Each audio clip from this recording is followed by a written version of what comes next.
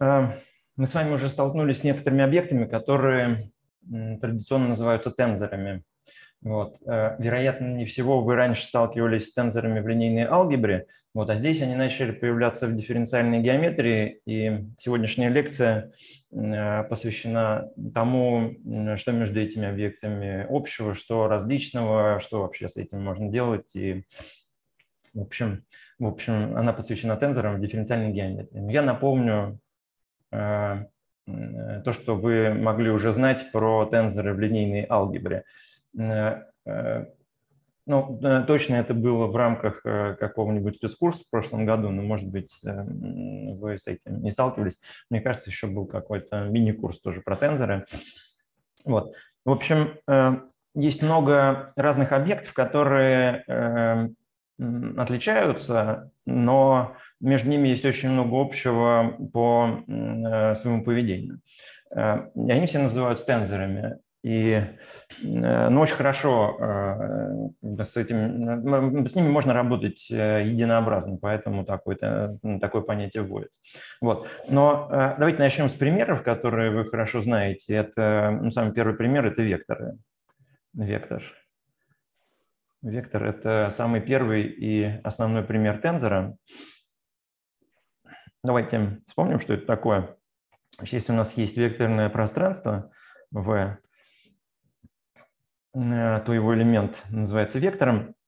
Вот, и если, кроме всего прочего, в векторном пространстве есть базис E, K, то вектор V можно представить, значит, это базис, то вектор V можно э, представить, э, разложить по этому базису.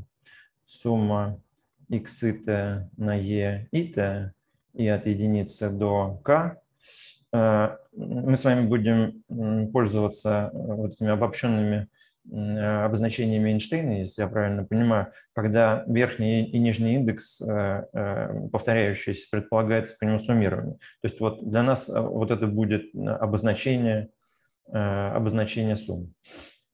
Вот, но все-таки основные, сейчас вот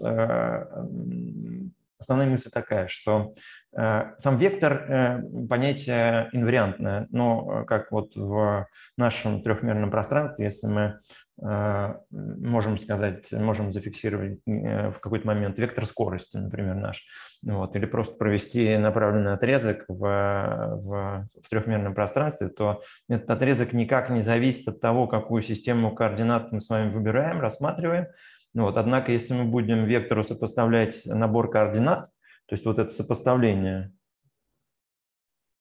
э, сопоставление э, в э, набор координат x и t уже зависит от системы координат,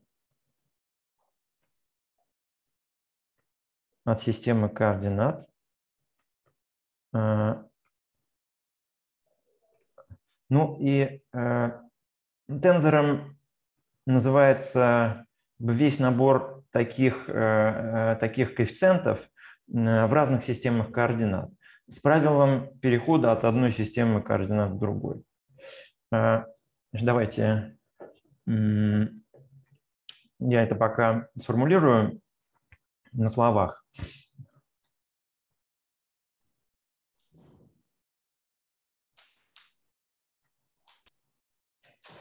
Называть э, совокупность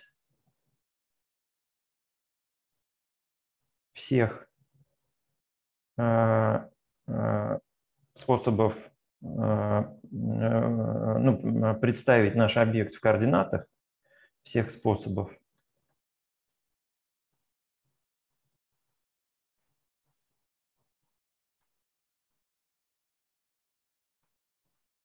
координатах.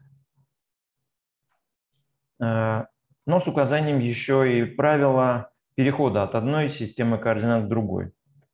С указанием, с указанием э, правила э, перехода из одной системы координат в другую.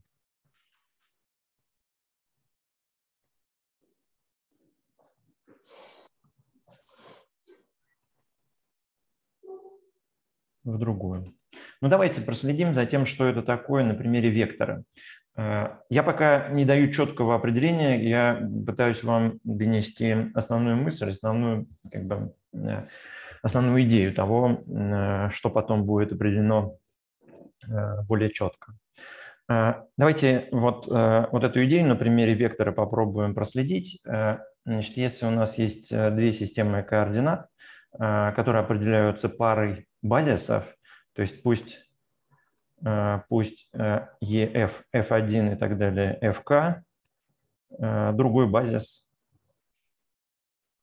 базис в пространстве V. Как мы знаем, все базисы связаны друг с другом, поэтому мы можем выразить базис E через базис F. Выразим базис E через базис f. Ну, как мы выразим? e итое будет равно c и житое на f житое. Здесь опять предполагается суммирование по индексу g. Вот, и тогда выражение для вектора v в координатах x, ну, в, в, в базисе e.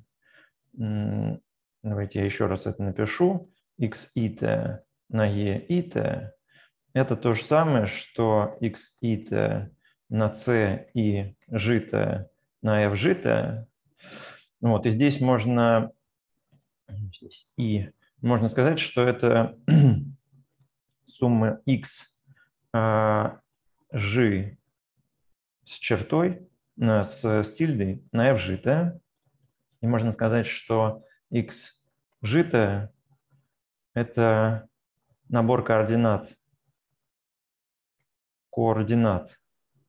А, простите? Да-да-да-да. Сейчас, одну секунду. Набор координат вектора v в системе координат, связанной с базисом f.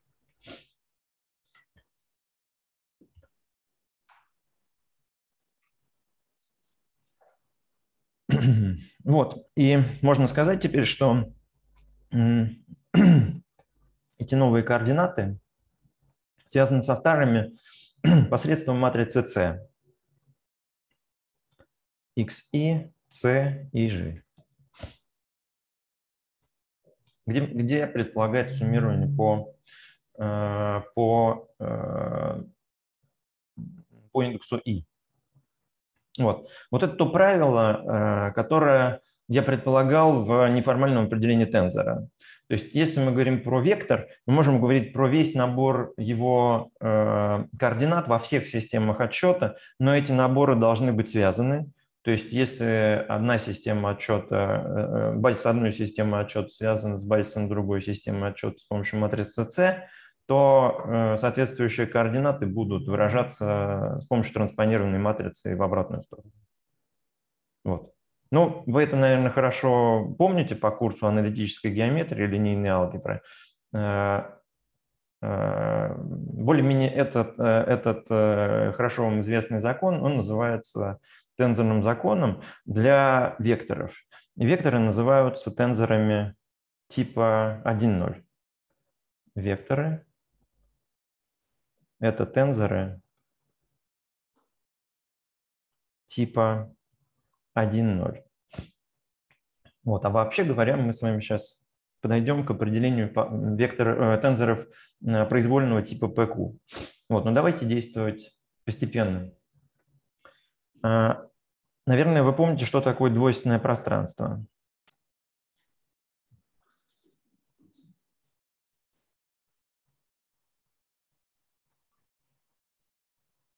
Ну, давайте я на всякий случай напомню. Э, определение. Э, v со звездочкой э, обозначает, обозначение, это называется V со звездочкой, это пространство линейных функций на V. Называется двойственным пространством.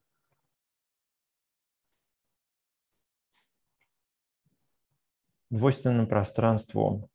Ну, э, нужно ли пояснять, что такое линейные функции? Тоже важное понятие, и, ну, в общем, оно везде в тензорном, э, в тензорном языке используется и важно. Э, скажите, пожалуйста, более-менее понятно или, или непонятно?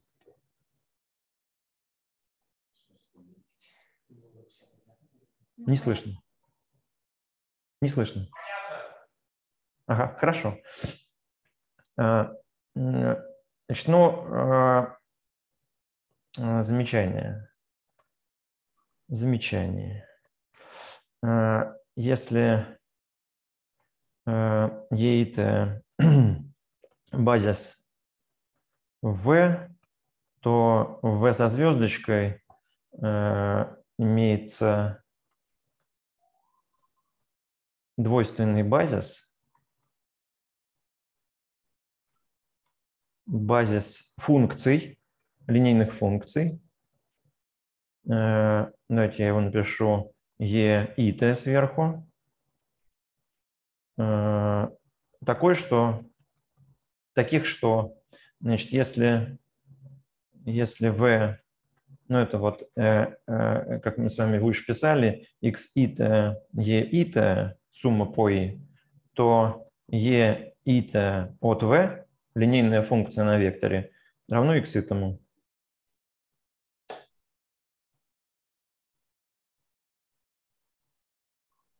То есть, э, как только у нас есть базис v, у нас есть набор линейных функций на векторах. Э, значит, это координаты в этом, в этом базисе, потому что координаты – это число, которое сопоставляется вектору. Э, это линейное, э, вот само способ, сам способ сопоставления, он линейный. Да? То есть если у нас есть два вектора, то, их, то координаты их суммы равны сумме координат. Это значит, что эта функция линейная. Скажите, если тут нужно притормозить или прокомментировать. То есть, если это не совсем вам все прозрачно.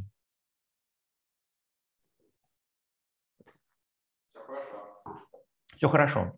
Значит, вот, э, значит, вот, этот, э, вот этот базис, он называется двойственным, ну, например, по такой причине, что если мы будем вычислять функцию еитую на векторе ежитом, то это будет дельта ежитая. Это символ Кранекера, который равен единице только если и равно g. Вот. А если они не равны, то это будет 0, потому что итая координата житого вектора в базисе e, она равна нулю. Видите, можно вопрос? Конечно. А почему у нас при действии и жита получается дельта символ с двумя нижними индексами? Если у нас есть верхний и нижний. Что, простите, еще раз? Ну, у нас дельта символ получается с, с двумя нижними индексами, но у нас e ита с верхним индексом действует на e жита с нижним индексом. Э, засчитано правильно так писать, конечно. Ну, это просто обозначение. Ну, да, да, да. Просто обозначение. Ну, вот, э, очень правильно писать так, разумеется. Вот. Э, значит, дальше э, ну, произвольный, произвольный элемент Э, элемент э, из двойственного пространства имеет вид, э, вид, давайте я его напишу, кси, кси ита, еита. Здесь тоже есть суммирование по и, но обратите внимание, тут индексы стоят в противоположном порядке, потому что это суммирование уже линейных функций с какими-то коэффициентами. Вот, и Значит, этот, э, линейный функ, э, эта линейная функция, она характеризуется такими свойствами, что кси на, на базисном векторе э, равно кси Вот. И в силу того, что это линейная функция, конечно же, она полностью определяется тем, какие имеют значения на базисных элементах нашего векторного пространства. Вот. Значит, я это долго все рассказываю для того, чтобы нам с вами вместе подумать о том, как меняются координаты элементы двойственного пространства при замене базиса в V. То есть вот сейчас такой вопрос. Как меняются координаты кси, то есть вот этот набор ксиитых при замене базиса в V. Ну, почему V? Потому что вот эти координаты ксииты, они были связаны с базисом V. Мы по нему строили уже базис в двойственном пространстве, и по всем этим данным э, ну, в общем, определяли, определяли элементы этого двойственного пространства. Но давайте э, Э, но э, э, мне хочется, чтобы вы поняли сам, сам вопрос, потому что ну вот кси как элемент двойственного пространства вещь тоже инвариантная. Это какая-то линейная функция на векторы. Вот. Пока у нас нет базиса, но ну, у нас может, просто у нас может быть какой-то способ вычисления этой линейной функции. Но ну, как, какая, например, линейная функция? Э, пример линейной функции.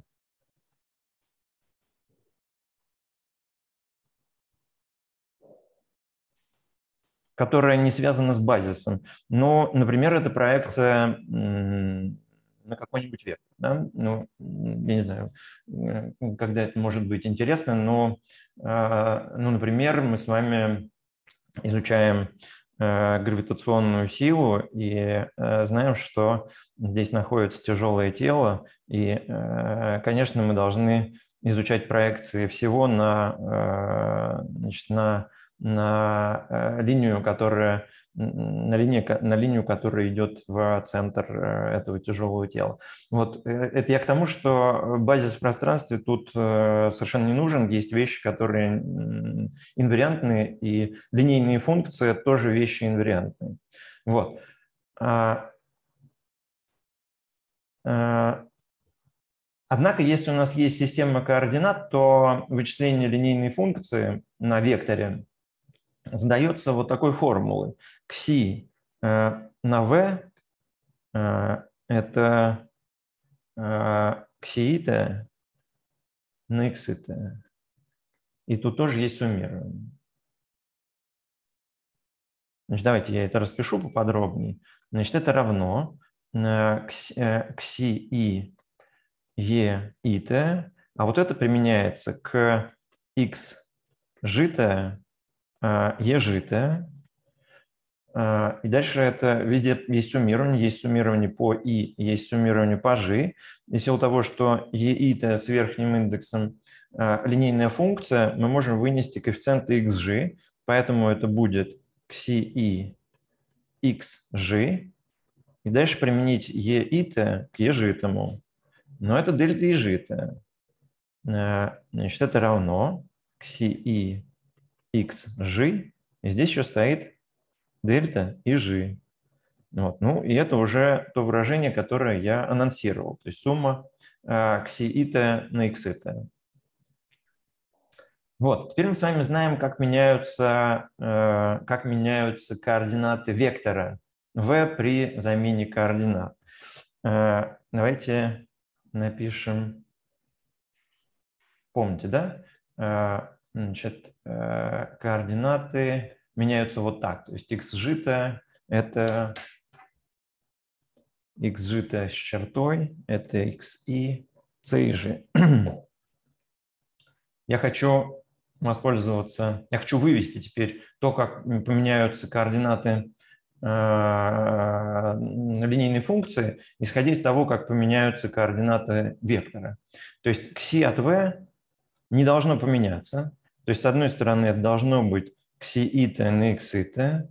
Вот. А с другой стороны, э, это должны быть какие-то кси g с чертой на x g с чертой. А xg с чертой, ой, а xg с чертой это э, cg с, чер, э, с, с тильдой, это x и c и g.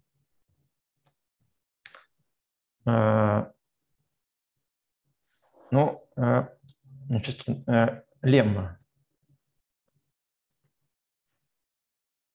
Кси. С чертой G должно равняться.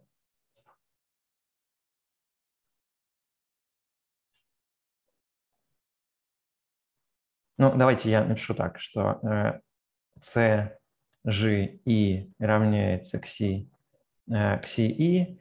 Из этого следует, что кси G с чертой э, равно э, C в минус первый и G э, на кси Неправильно. Жи и кси.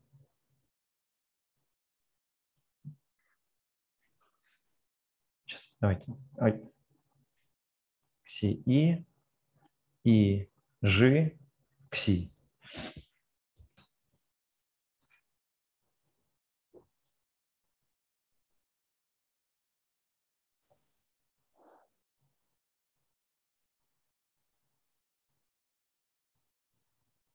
Ну, давайте это проверять, доказательства.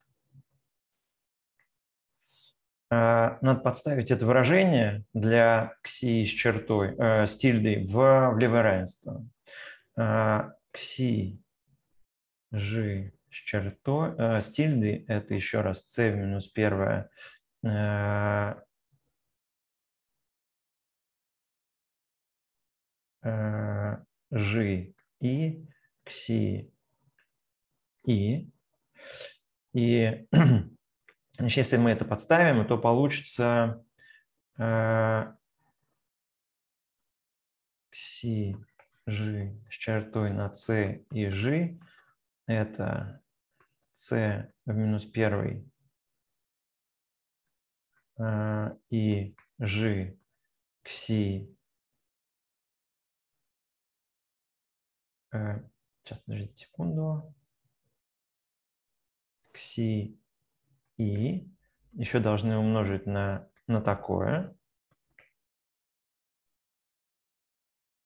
Так, наверное, тут нужно поаккуратнее обходиться с индексами. Наверное, здесь суммирование должно быть по какому-то э, по какому-то другому индексу. Вот здесь. Давайте, здесь будет суммирование по индексу k.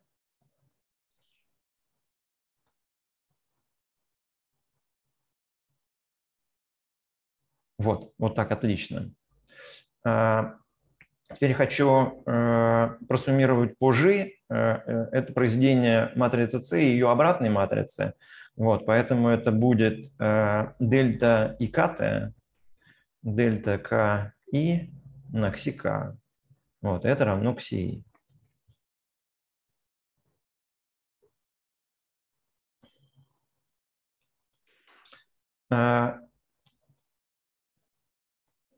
Скажите, пожалуйста, если ход э, доказательства не до конца понятен, потому что тут есть один шаг, который требует пояснения.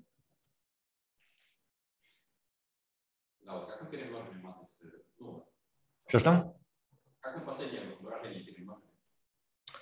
Нет, ну как, как выч, вычислили-то... Э, ну еще раз, вот э, кси и с тильдой, ну, кси же с тильдой, c и ж, да? Э, это то, что у нас должно равняться ксиита. Да, это вот э, требование. Э, еще раз, кси, жи, стильды, ц и жита. В это, в это место я подставляю кси жита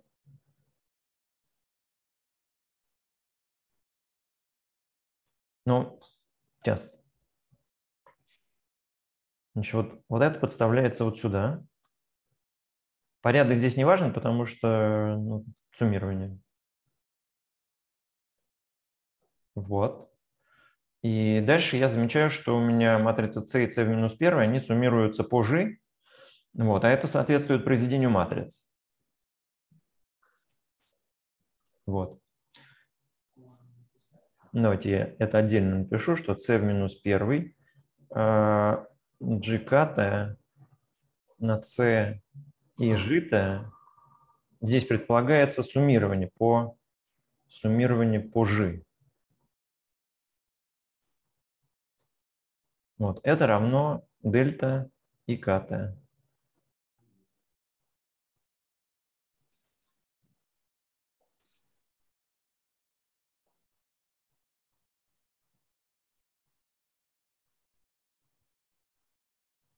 Ну что, годится?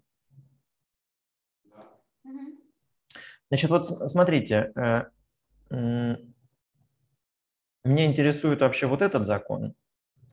То есть я хочу сказать, что э, коэффициенты э, тензора из двойственного пространства, они меняются с помощью обратной матрицы C. Вот. И это то же самое, что левая формула в, в утверждении леммы. Значит, почему это эквивалентно?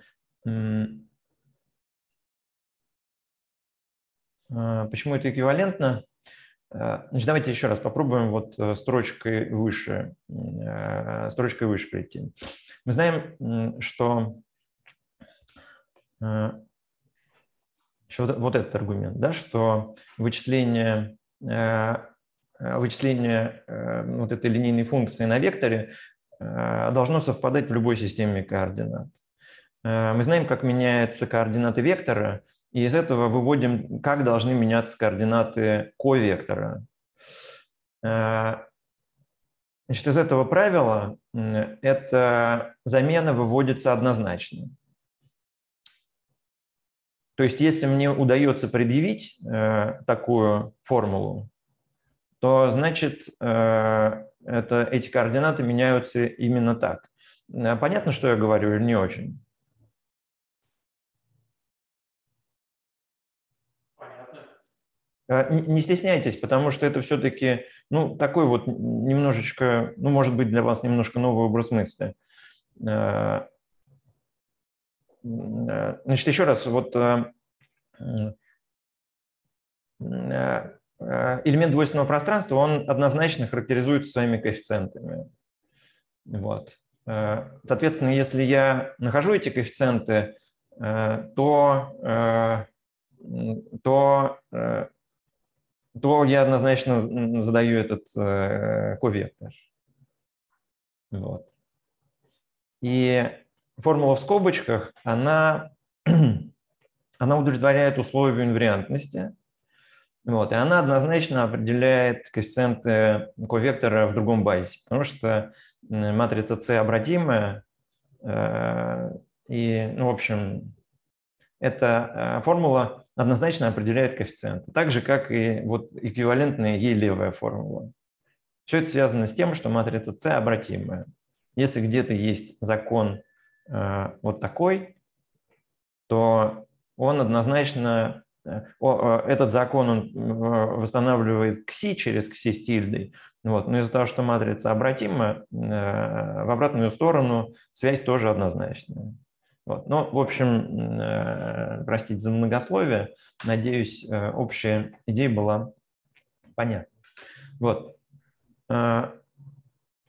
Важным здесь является то, что коэффициенты элемента двойственного пространства меняются по другому правилу, не по такому, как Э, как векторы. Давайте резюмируем, что уже получено на текущий момент.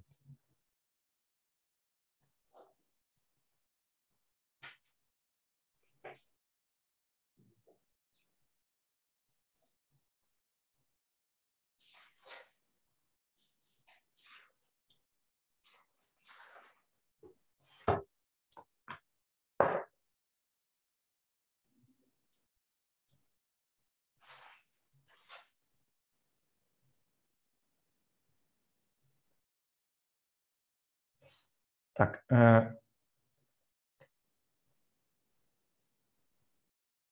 э, элементы двойственного пространства.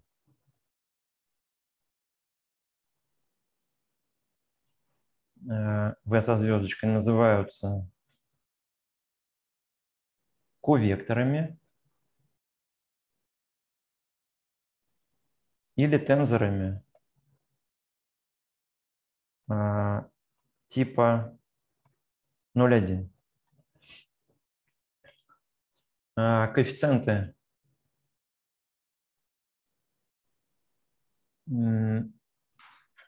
Простите, коэффициенты таких тензоров меняются по правилу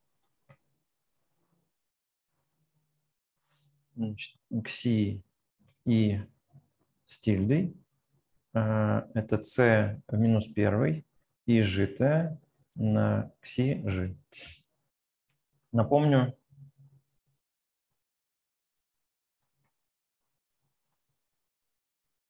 коэффициенты векторов меняются так. X ита это c и g xg. Вы простите, индекс неправильный. x и c и g xg. Очень хорошо. Давайте теперь подвигаемся немножко дальше. Еще с одним тензором, даже с двумя типами тензоров вы сталкивались, это линейные операторы. Линейные операторы.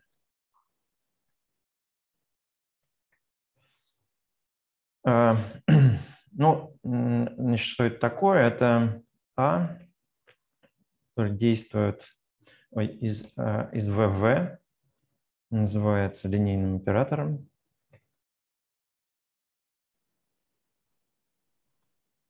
Если, ну, в общем, выполняются некоторые условия линейности. Плюс мю W, лямбда V, мю W. Э, это очень жесткое условие, э, тоже линейный оператор. Значит, если у нас есть, э, пусть E и базис V, тогда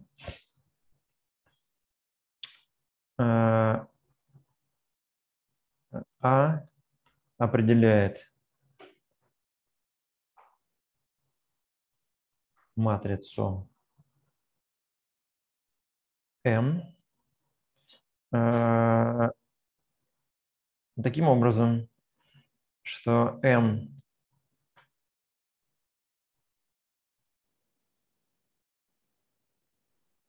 и G, E, G – это А от Е и Т.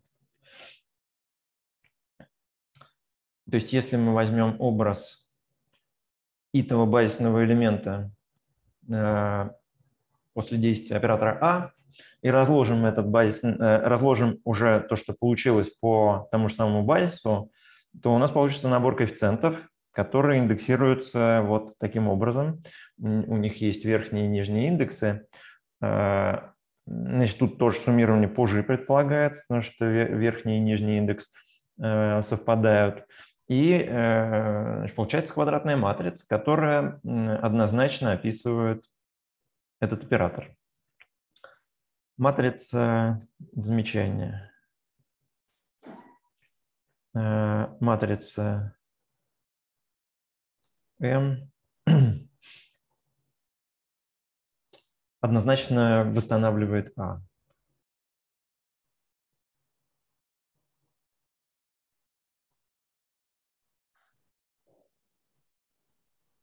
То есть если мы знаем m, то э, в этом базисе, то однозначно определяется a, и наоборот, э, m строится по a. Э, еще раз, идея примерно так же, как с векторами, что если в пространстве v есть базис, то можно линейные операторы задавать набором чисел.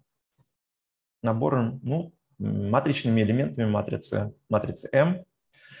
А, и это тоже оказывается тензор.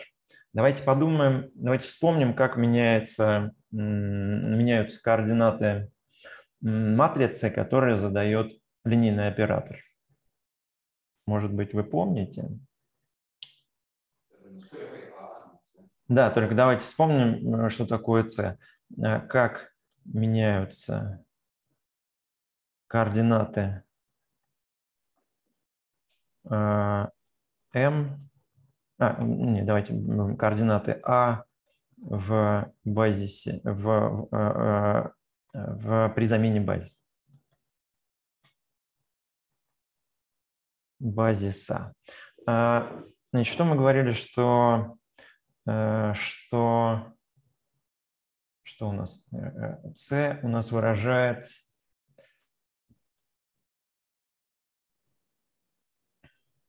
C выражает, выражал у нас старый базис через новый. Вот. Ну, я предлагаю просто записать э, то же самое. Э, e, I, C, и G, F, G. Ну, просто способ э, построения матрицы давайте, давайте выразим. Э, я хочу вместо ежита написать, выразить их через, э, через f, fk. Это будет c g k fk. Это будет a от e ита но яйто я тоже хочу выразить через, э, через f, э, какое-то f. Значит, это будет э, от c и g fg.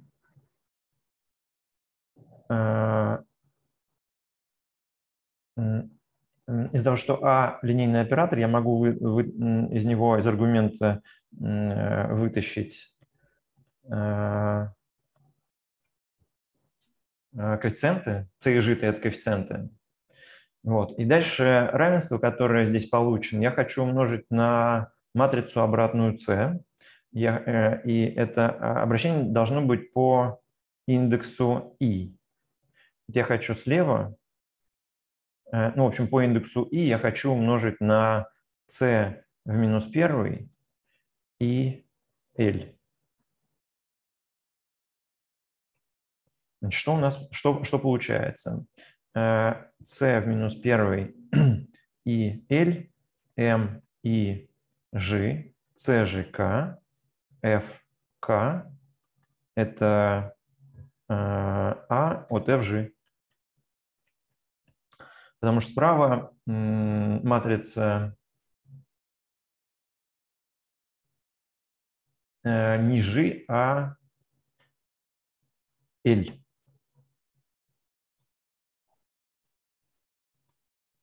Давайте я здесь это напишу подробнее. c э, в минус 1 и L, C и G, A, F, G. Э, здесь есть суммирование по I, э, матрицы ее обратной. Это значит, что это L житый элемент их произведения. Поэтому это равно дельта L G на A F G и это равно А от FL.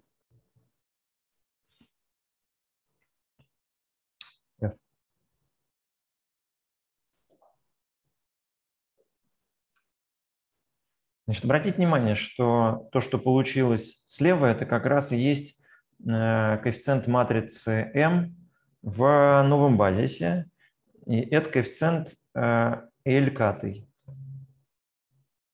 потому что он выражает образ эльтового элемента нашего нового базиса через э, другие элементы того же базиса.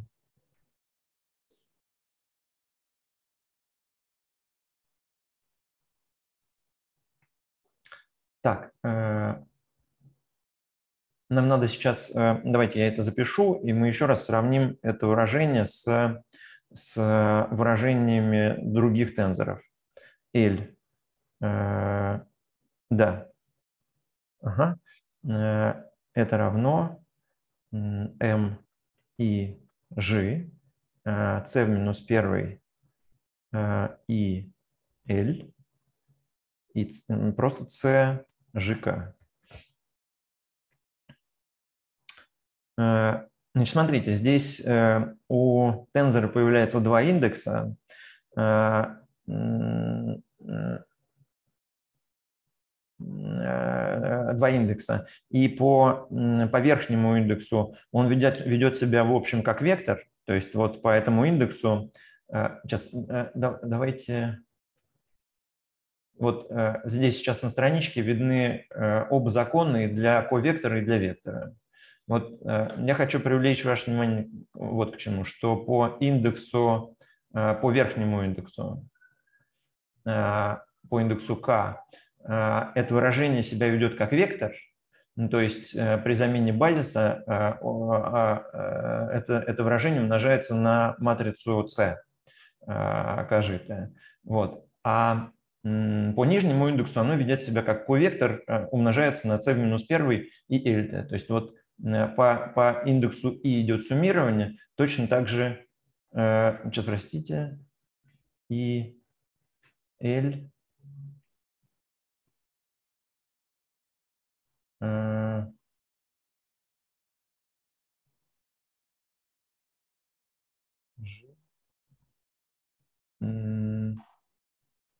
Да, да, да, да. Значит, вот по, по нижнему индексу идет суммирование, да нет, подождите, подождите, подождите. Да, все правильно. Значит, э, тут индекс это, это вот этот G. Э, по этому индексу идет суммирование, оно здесь э, занумеровано индексом I. Вот. L становится новым индексом M. Скажите, понятна ли аналогия? Видно ли, что, что по нижнему индексу у матрицы линейного оператора а, поведение такое же, как у ковектора. Да, все понятно. Ага. А, замечание. Замечание.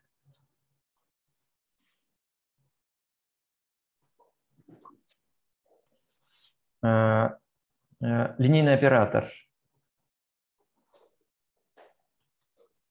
Оператор а, называется тензором тензором типа 1.1. Вот, ну и последний пример, после которого я дам общее определение, он э, связан с билинейными формами. И, наверное, для нас он будет одним из важных, потому что этот пример Э, выживает в, в дифференциальной геометрии, когда мы с вами анализируем поверхности. Билинейные формы.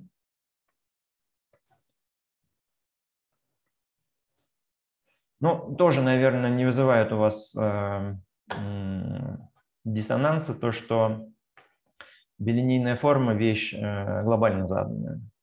Скалярное произведение, длина – это то, что э, определено Эм, между векторами независимо от системы координат. Вот, поэтому вопрос опять стоит в том, как э, согласованы все наборы э, э, координат, которыми мы задаем билинейные формы. Вот. А если вы помните, то билинейные формы мы тоже задаем матрицами, матрицами грамма. То есть мы, ну вот матрица грамма для скалярного произведения. Это когда мы начинаем вычислять билинейную форму на, на парах базисных векторов. Давайте я еще раз это напомню.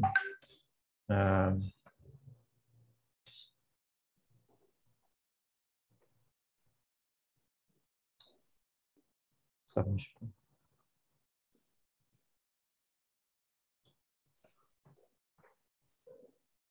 Uh... Э, значит, пусть э, омега билинейная форма,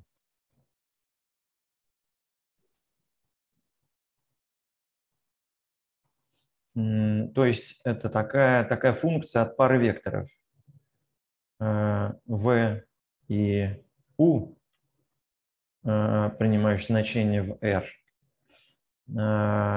Такая что?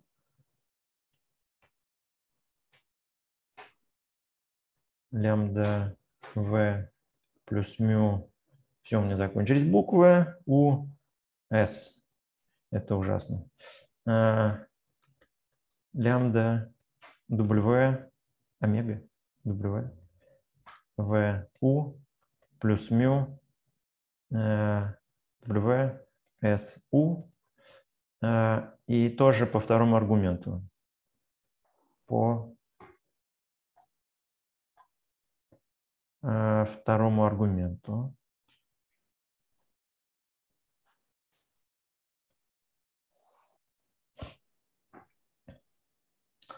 Э, тоже по второму аргументу. И значит, пусть опять ей это, это базис, базис в V, тогда э, форма однозначно э, соответствует матрице. Давайте я напишу такое. Э, и G – это э, омега от Е ита ежита. Значит, слово однозначно соответствует. Означает следующее, что, что Э, если есть такая абелинийная форма, то мы можем построить матрицу э, омега большое. Вот. И если есть такая матрица, то, она, то по ней тоже однозначно восстанавливается форма, ну, в силу того, что это билинейная форма. Вот. Более-менее понятно, да? Давайте я напишу формулу правила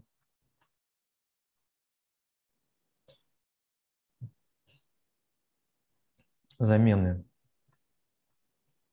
координат. А, а, значит, правило замены координат такое, что омега, омега и g с чертой – это c в минус 1 э, омега к l. Давайте я буду с одной стороны писать. Омега к L, c в минус 1, к и. C в минус 1, L, G. Э, значит, это то, что у нас раньше выражалось э, матри... Э, формулой Стас, вот, но C здесь – это обратная матрица, не стоит этого бояться. Вот, а тот факт, что одна из них транспонированная – но означает то, что мы это к левому, к левому индексу применяем. Вот, в общем, тоже ничего страшного. Вот, но э, э, такое правило означает, что перед нами тензор типа 0,2. То есть он ведет, ведет себя как, как бы два экземпляра ковектора, два экземпляра э, линейной функции на векторах. Значит, такое Э, такой объект называется тензором типа 0,2 Э, ну, в общем, он лежит в том же самом поле. Э, это э, просто вот его тип, он немножечко другой, но все эти объекты преобразуются с помощью матрицы C и C минус 1 в зависимости от того, сколько, сколько у них каких индексов. Давайте я еще один вам пример приведу. Это пример, может быть, помните, у нас при выводе теоремы Гаусса возникала такая матрица G и G с верхними индексами.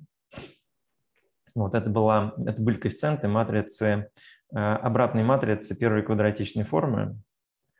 э, не Ж и.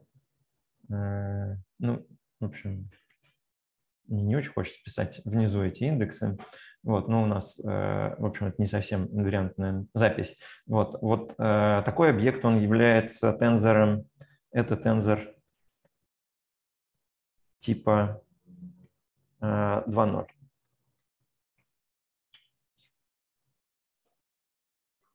А что у нас обозначают эти индексы в типах? Э, они обозначают, э, сколько, э, какие индексы меняются с помощью матрицы C, а какие с помощью C минус 1. То есть первое с помощью C, второе с помощью C минус 1. Да, да, да, да. Вот обратите внимание, что у билинейной формы, да, то есть у самой метрики, у нее оба индекса меняются как ковекторы, вот, а обратная матрица будет задавать э, тензору, у которого оба индекса будут меняться как векторы. Вот. Сейчас давайте тогда сделаем небольшую паузу и перейдем уже к тензорам, с которыми мы с вами сталкиваемся уже в дифференциальной геометрии. Вот, пауза на 5 минут.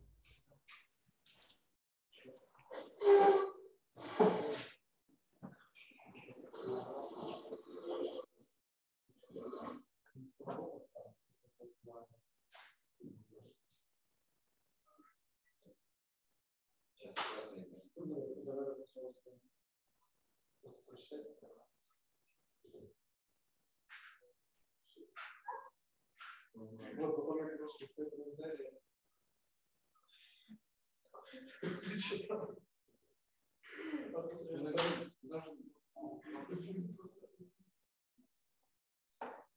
Когда ты съездаешь это уже, смотришь на.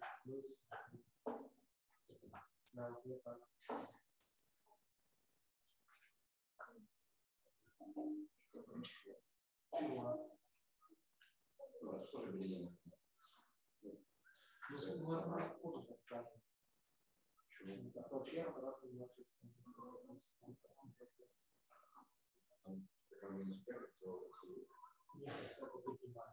Вообще нормально. Ну,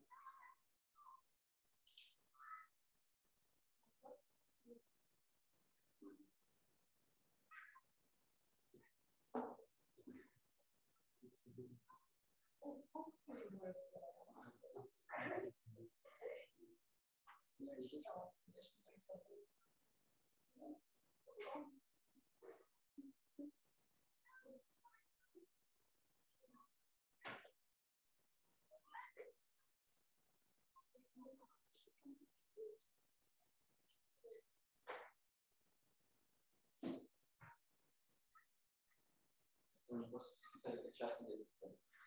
Да? Я вообще счастлив. Я просто видела, что туда родители детей завозили. Я сначала думала, что просто там гости. Нет, это вообще. Столько детей. Сейчас мы чуть сказали, что он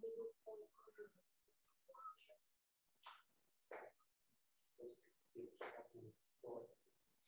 Ну, Вообще сейчас не сейчас с помощью расписания. Ну, кроме того, что там изменилось.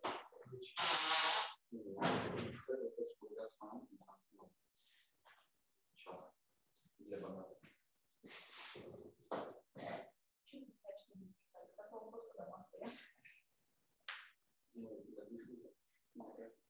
Ого. Мы просто гуляли. и А, ну, нет, это его семейный.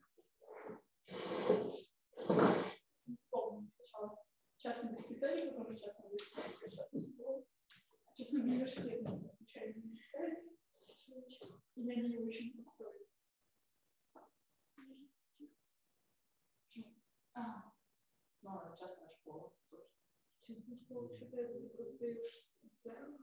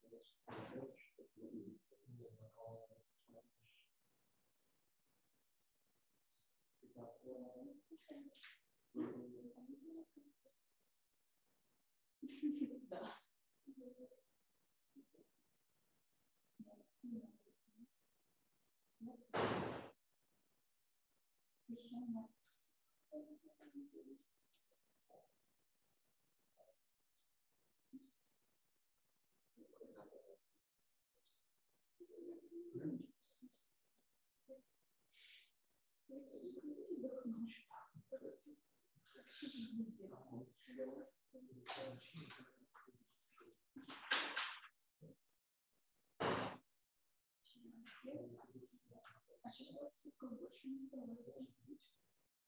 Я очень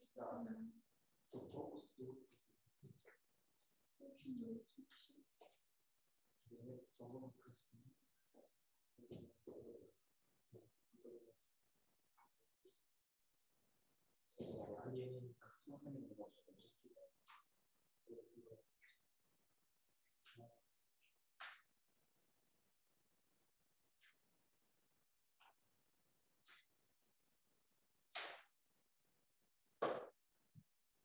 Ничего себе.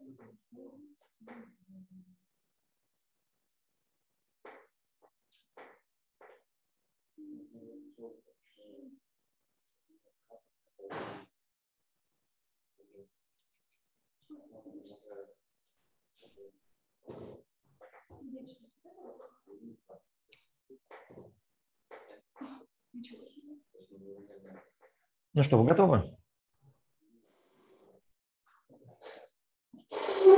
Давайте я сначала дам определение тензора общего типа.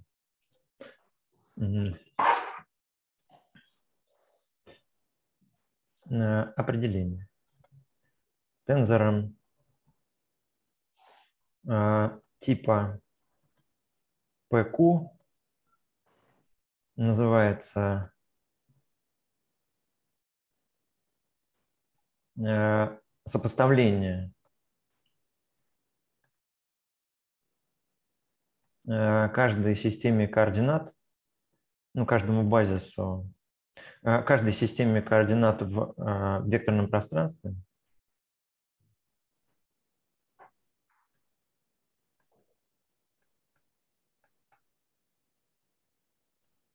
Э, в V набора, набора, набора чисел. Э, э, м, значит, И1 и и Q, э, G1 и так далее, GP.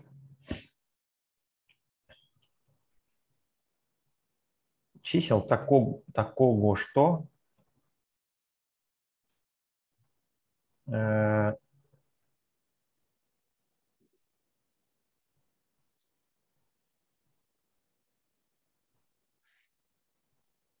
такого, что два таких набора, два таких набора. Э, э, в двух системах координат, в два таких набора соответствующих. E и F, значит, это базисы, да? Э, Двум базисам связаны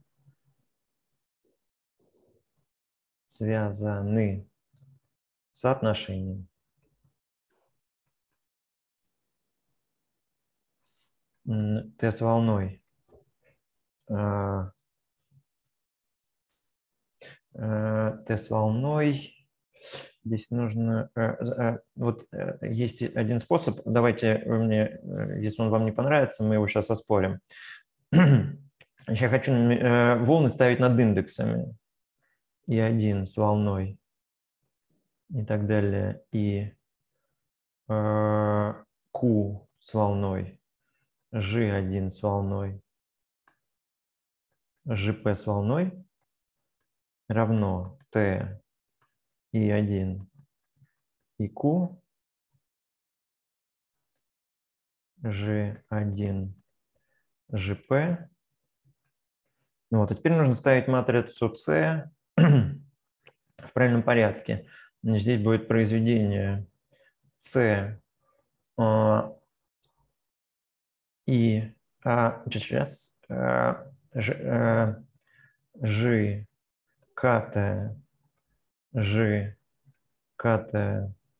с волной и произведение матрицы c в минус 1 по индексам i. Вот, и эти индексы i должны быть наоборот. То есть нужно, чтобы здесь было и lt, а здесь было и lt с волной. Э, так что не, не прописалось, минус первый. Э, посмотрите, пожалуйста, на формулу. То есть вы должны увидеть в этой общей формуле все э, раз, два, три, четыре, пять частных случаев, которые, с которыми мы столкнулись.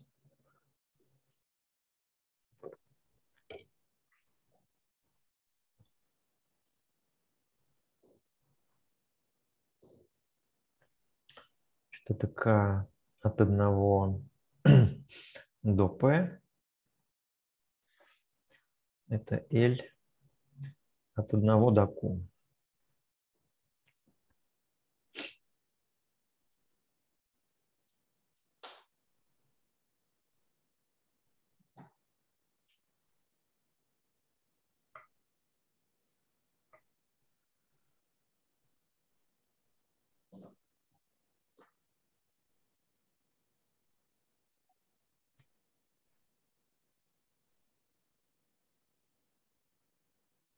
Ну, давайте какой-нибудь. Значит, э, ну, по-хорошему не хватает...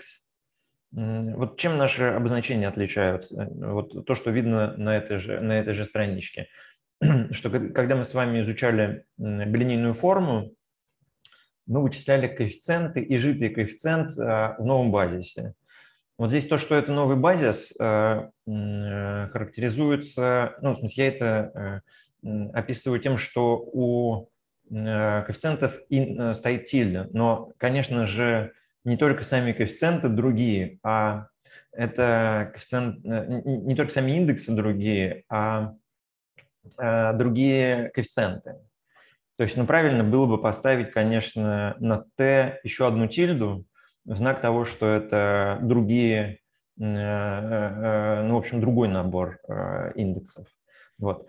А, но это более-менее стандартное обозначение, я поэтому предпочел бы оставить э, в таком виде, вот, но э, э, хотел бы прокомментировать любые ваши возражения.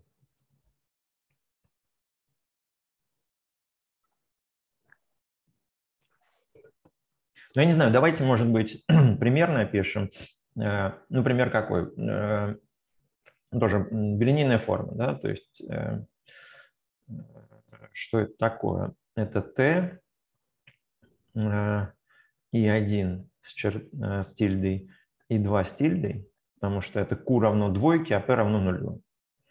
Вот. И это выражение должно равняться такой сумме t и 1 без тильды это, это, эта точечка у меня так написалась, и 2. И здесь будет э, c в минус 1 э, и 1 и 1 с тильдой, и еще одно c в минус 1 и 2 и 2 с тильдой.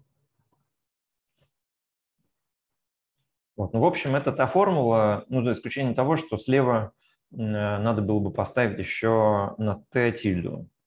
Вот здесь нужно было поставить тильду, но это немножечко загромождает э, обозначение, поэтому обычно этого не ставят. Но предполагая, что тензор один и тот же, просто у него в разных системах координат разные, разные наборы этих координат. Ну что, скажите, согласны ли вы на такое?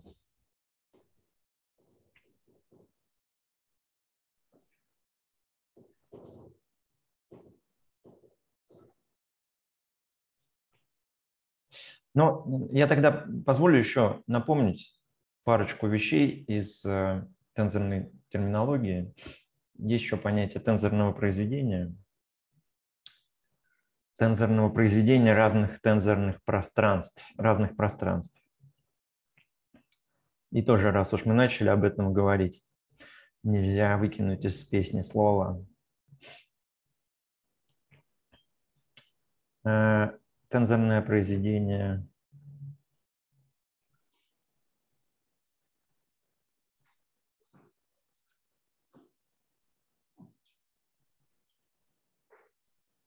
э, векторных пространств.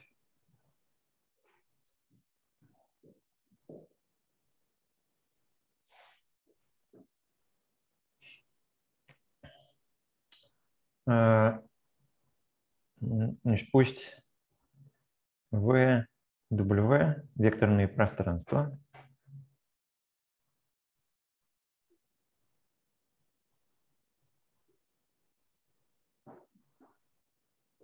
Определено э, пространство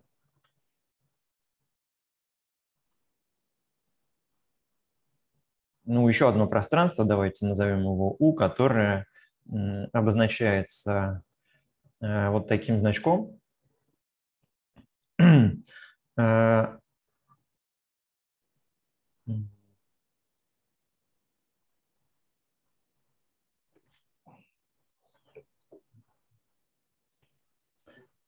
э, значит, если E, I, T и F, T базисы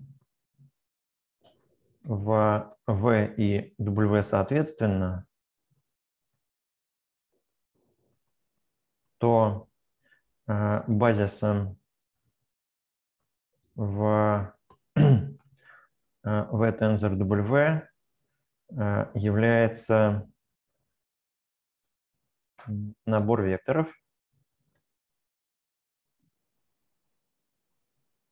EI,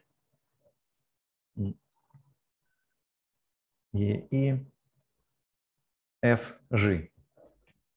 Воспринимайте это формально, то есть есть набор э, векторов, э, индексируемых, пары индексов.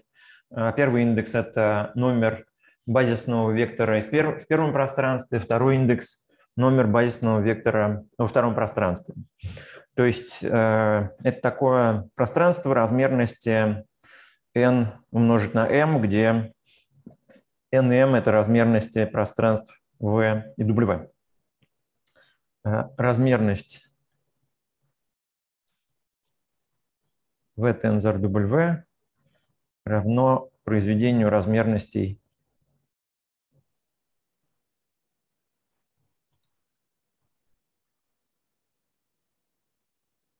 этих двух пространств. Вот, ну, собственно, это, это следует. И давайте вот на текущий момент считать это прям определением, что э, если есть э, два пространства с базисами, то их тензорное произведение это будет э, векторное пространство вот с таким базисом. Что бы это ни значило. То есть, ну, можем этому значку э, никакого другого смысла не придавать. Вот. Э,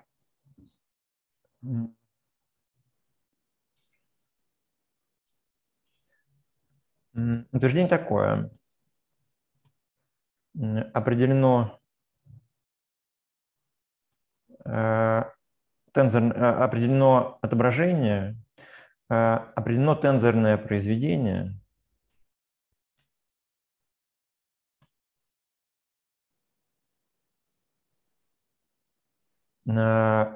пространств тензоров.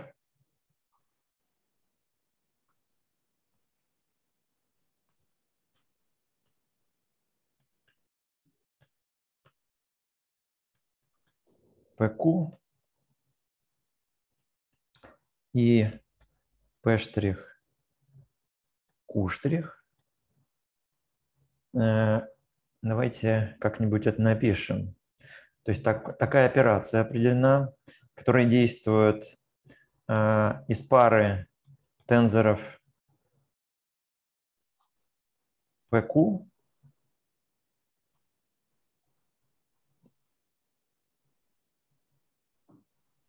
p' q' отображает в тензоре p плюс p', q плюс q', А,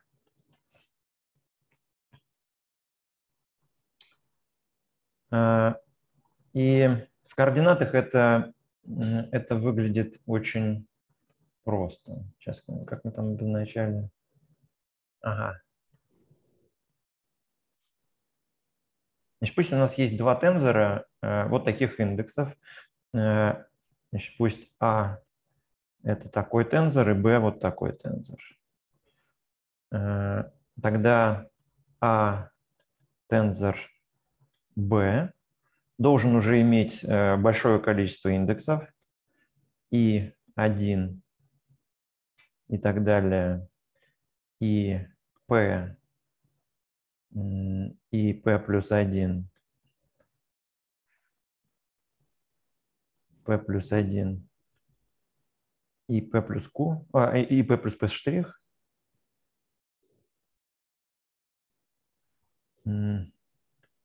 G1, GQ, GQ плюс 1, э, начинает тормозить доска, не выдерживает накала. GQ плюс Q штрих. И я хочу по определению, вот у, у нового тензора такой набор, э, вот, вот такой матричный элемент э, записать в виде произведения двух матричных элементов.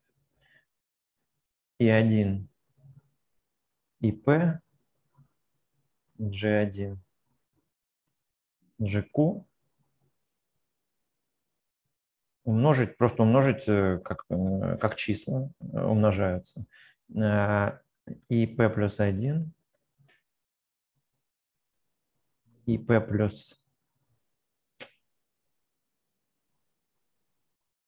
P плюс P штрих.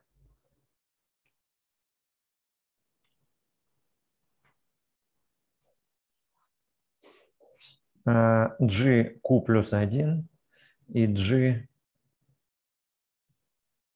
Q плюс Q штрих.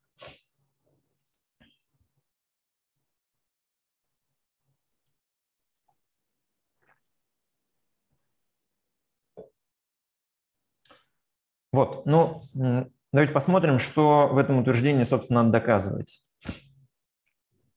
А, по нашему с вами определению тензором называется набор э, чисел э, в каждой системе координат. Вот. И эти числа должны быть связаны при переходе от одной системы координат к другой. Вот. Значит, э, я могу по двум таким наборам чисел, чисел построить третий набор чисел, и, и э, то, что будет получаться, будет преобразовываться по правильному закону, потому что вот эти числа просто означают, что верхние индексы, они используют матрицу c, а нижние индексы используют матрицу c в минус первый, вот, ну и в каком порядке они относятся к а, b, или это вообще не важно. То есть вот э, то, что написано справа, преобразуются как э, элемент э, вот этого, вот этого тензорного пространства.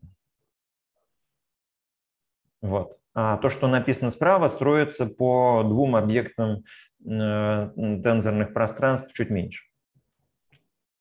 Вот, это, давайте я проиллюстрирую такое, такое отображение на совершенно банальном, банальном примере. Пусть иллюстрация. Иллюстрация. Иллюстрация с двумя да? А, пусть а, кси и это две линейные функции.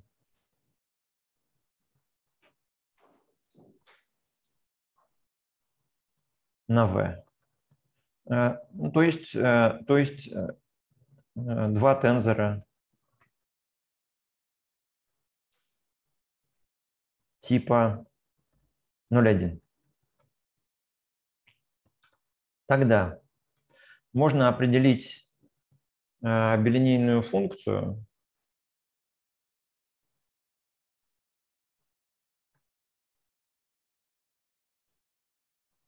билинейную функцию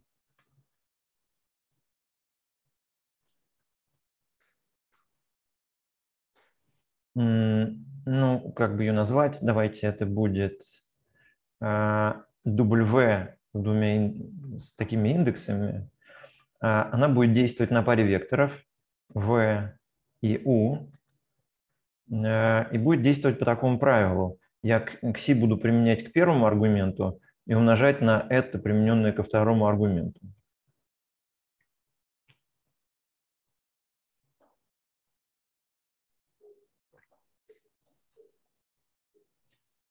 Понятно, да, что такая, билиней, ну, такая функция будет билинейной. Ну, просто по совсем идиотическим примитивным соображениям, потому что э, первый аргумент подставляется в линейную функцию xi, а второй аргумент тоже подставляется в линейную функцию это. Вот. Ну, и если мы туда будем подставлять линейные комбинации, то благополучно, э, ну, из-за того, что xi и это, это линейные функции, получится билинейность. Вот. Но э, э, вот это простое правило, оно иллюстрирует э, как раз отображение из э, э, отображения такого типа T02. Вот. Хорошо.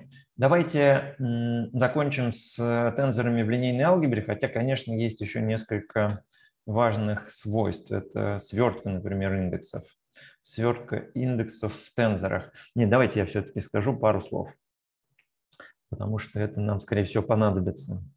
Свертка индексов. Значит, пусть э, t и 1, t и p, g1 и так далее, gq, тензор типа pq. Тогда.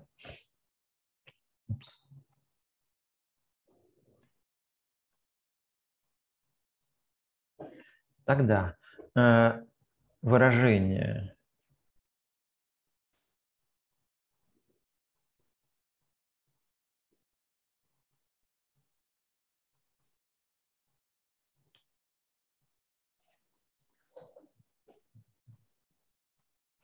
Значит, обратите внимание, здесь будет суммирование по двум индексам И2 и так далее, и P, G2, G, Q. А, здесь суммирование, то есть э, зависимость от первого индекса после этого не остается. Э, будет тензором будет тензором порядка P минус 1, Q минус 1.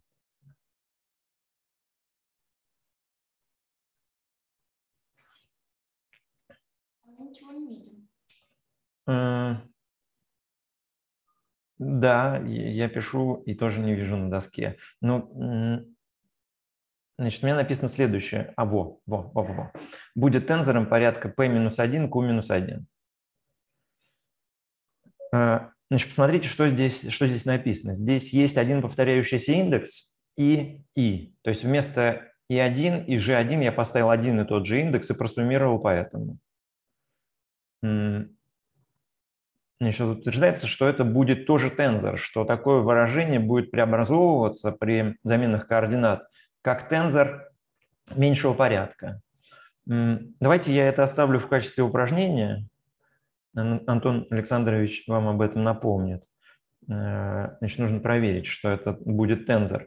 Ну, как бы что нужно проверять? Что, что преобразуется как нужно, но вот с меньшим количеством матриц. Вот. И это связано с тем, что там две матрицы будут э, перемножаться, вот из-за того, что индексы совпадают.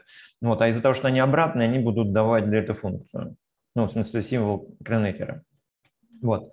А пример такого, такой, такой операции мы с вами знаем как след линейного оператора. Э, след линейного оператора.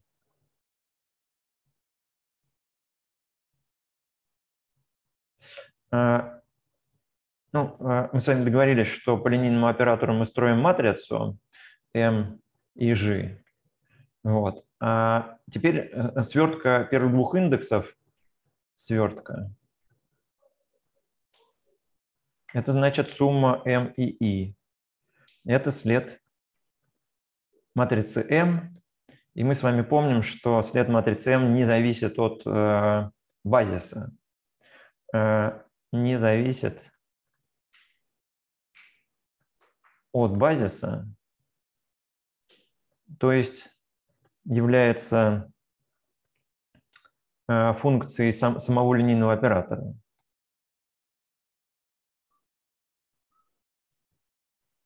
Давайте я э, сделаю небольшое пояснение, что вот в этом месте э, по матрице строим, по линейному оператору строим матрицу в присутствии базиса, да? в присутствии базиса. Вот, а оказывается, что после свертки мы получаем э, э, объект инвариантный, то есть, э, то есть просто число. Вот, что это число не зависит от базиса. Это означает, что мы получили тензор, на самом деле, типа 0,0.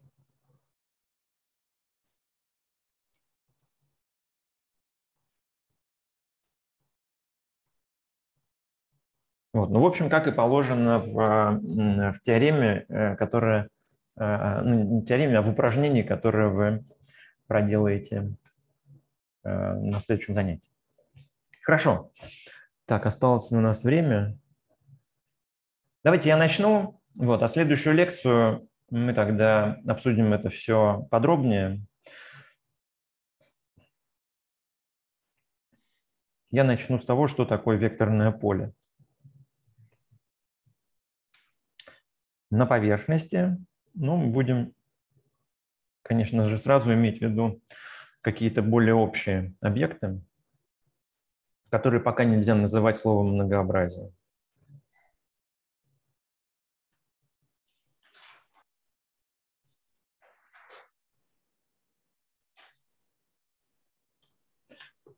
А,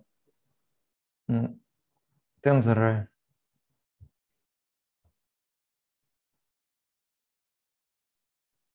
в дифференциальной геометрии.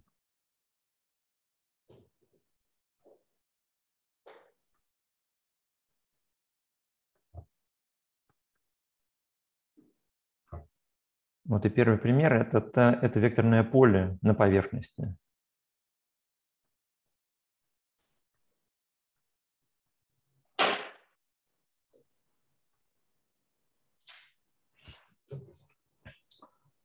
Ну, э, вы, наверное, уже примерно представляете, что это такое на нашей поверхности.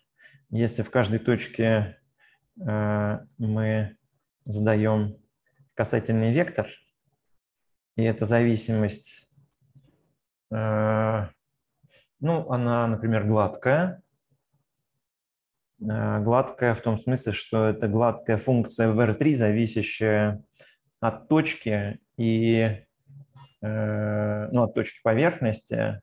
Вот, и э, ну, такая, что в каждой точке вектор лежит в касательной плоскости. Давайте я скажу, что это э, векторное поле. Давайте попробуем дать определение.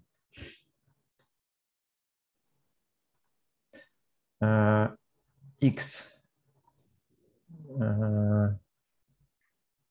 гладкая функция.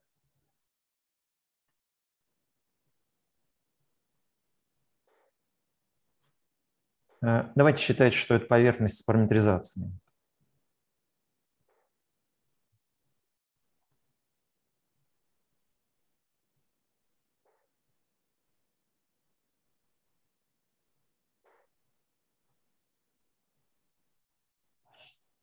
Э, с параметризацией у 1, U2. Гладкая функция э, U1, U2 со значениями.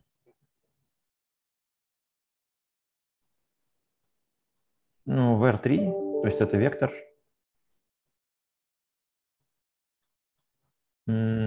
такая, что? Э, X от U1, U2 принадлежит касательной плоскости э, к нашей поверхности в точке U1, U2. Называется векторным полем.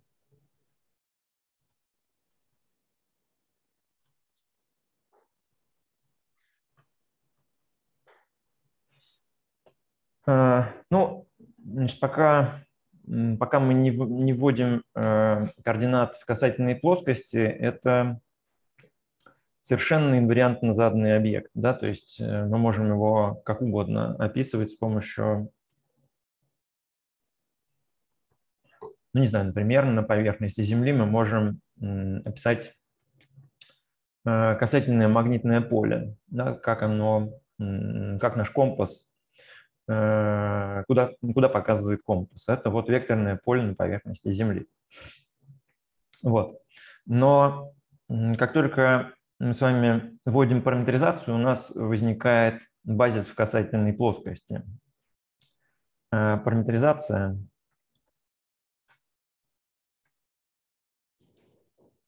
U1, U2 задает базис касательной плоскости.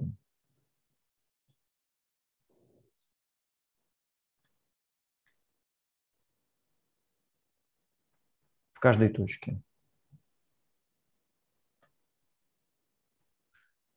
В каждой точке. И это базис, вы, наверное, помните какой.